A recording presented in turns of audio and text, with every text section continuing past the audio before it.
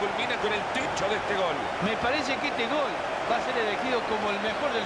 Termina siendo un golazo, Mario, pero tenemos que hablar del arquero, ¿no? Por lo menos mejor parado pudo haber estado. Veamos otra vez ese gol.